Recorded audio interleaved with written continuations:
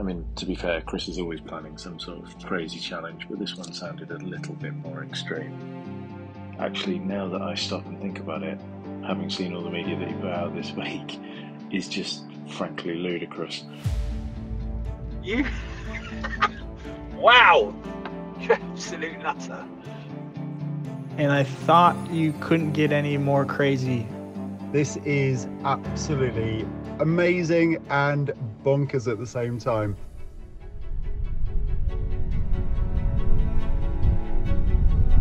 a lot of the reason for doing this is to sort of hope, hopefully open up that discussion a bit more about mental health in men and women. But obviously, I'm, I'm fundraising for Movember for this challenge for several reasons and how they've supported me with some problems I've had myself. But the the hopefully doing this challenge will open up the opportunity for people to have discussions while we're repping up and down the hill I think cycling is a great way to open up about your feelings and how you're coping with situations.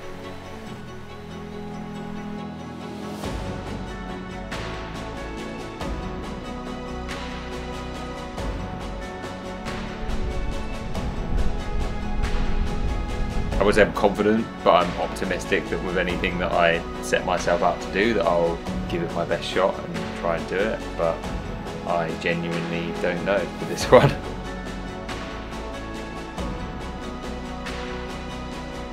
I'm genuinely quite nervous. I don't know. I don't know if it's doable, but there's there's literally only one way to find out, and that's to try. Several people have called me mad att- attempting it, but I mean, there's only one way to find out, isn't there? If it's doable.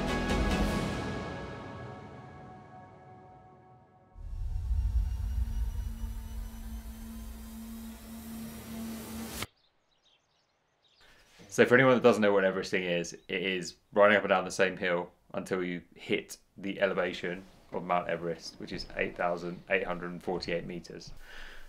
And you literally are repping that hill until you get to it. So I'm doing that for seven days, Monday to Sunday, making just short of 62,000 meters of climbing.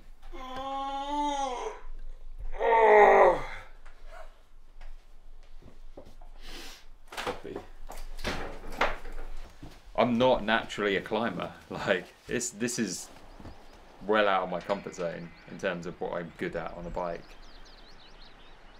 It was like just under 20 minutes up, and I think four and a half down, which is okay. It's going to be a case of survival. It's going to get, it's going to get grim. I know that much.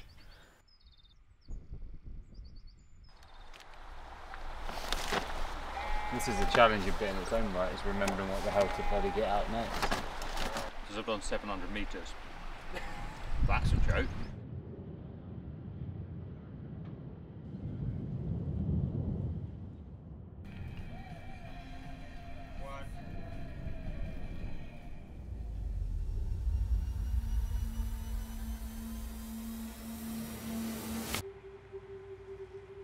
Going up and down a hill 22 times if thunderstormed.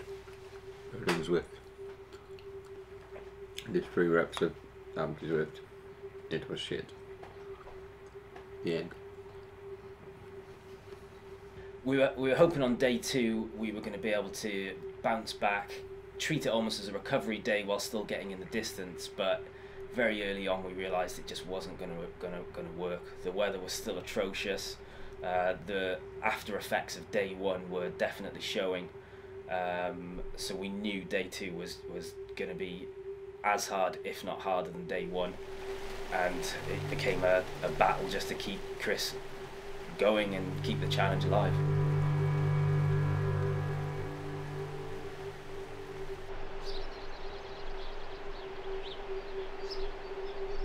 I, I just I don't think people realise quite how much of a toll this kind of thing takes on your contact points, so, like your hands, where they just yeah you're climbing, you're trying to hold on to the bars and grip onto the bars, but I'm struggling to do that at the moment.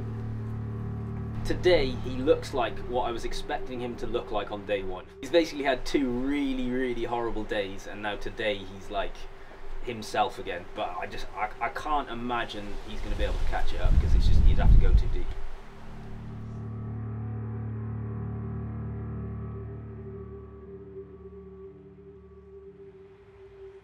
I've done about 2,000 uh, meters with Chris this morning of elevation, and he's got another 60,000 on top of that, and that's pretty wild, really. Um, couldn't imagine doing that myself.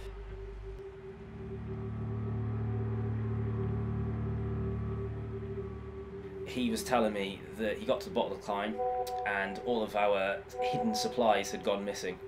Um, I raced up there to see if I could find out where they were, or if someone had taken them. Um, at which point there was they were nowhere to be seen. Someone had taken the food, thinking it had been abandoned, and donated it to the local food bank. Uh, and they very kindly got in touch with us and brought it back to us, so the disaster was averted. When Chris is out on the road on his own, he's not as energized as when there's people with him.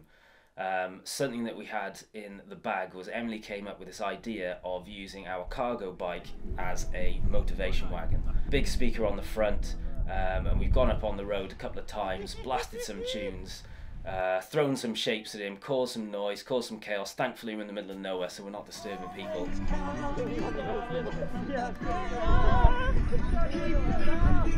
Right,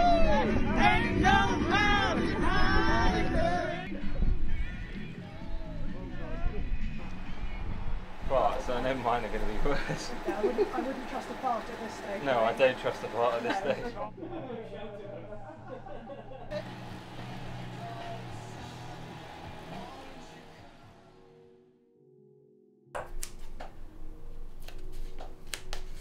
We'll still be on the road sooner than yesterday.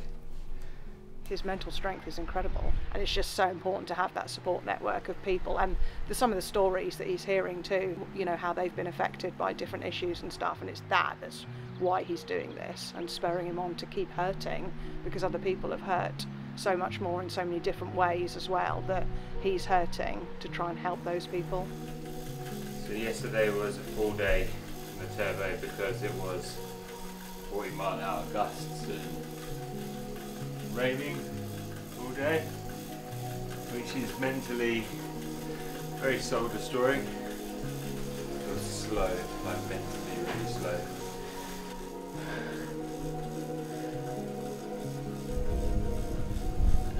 we lost Josh, our youngest son, in 2016 to suicide.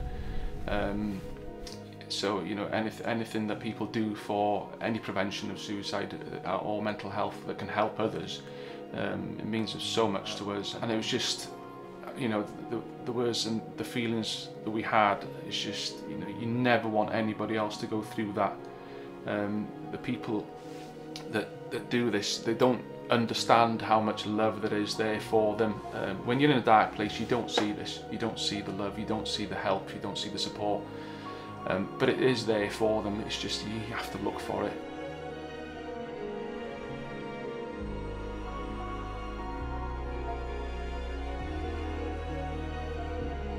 I can't even imagine what's going through his head with the amount of pain that he must be going through at the moment. The weather is horrendous, so Chris is spending a little bit of time on the turbo today. We're splitting it up um, just because not only does it get dangerous out there with the fog and everything, but the road is being resurfaced, so it's slippery. Um, so yeah, today is purely damage limitation and making sure he gets to the end without any big mishaps. He's back on the turbo, then more sleep, back on the turbo, more sleep. He's uh, uh, hanging on. and definitely the sleep is the only thing that's keeping him going.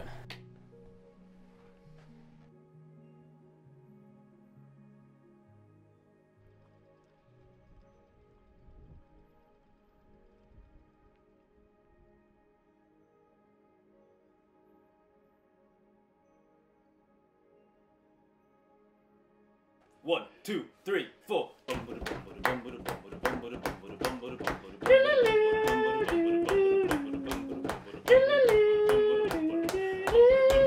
Chris is on the turbo, riding on his bike. Raising money for Movember, cause he is really nice. It looks just like a platypus riding through the rain. Climb the height of Everest again, again, and again. I through.